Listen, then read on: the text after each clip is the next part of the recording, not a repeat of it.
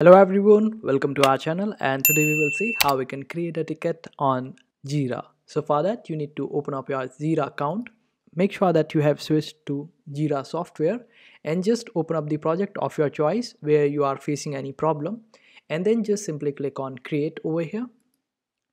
After that choose the project any particular project of your choice which you want to report to the Jira team and after that just select the type what type of uh, issue that you are facing on particular project. And after that just fill up all the other details and choose them. And then just simply click on create. And after that you will be able to create a ticket on jira. And that's how you do it. I hope this video was helpful. Make sure to hit that like button and also subscribe to our channel for more helpful videos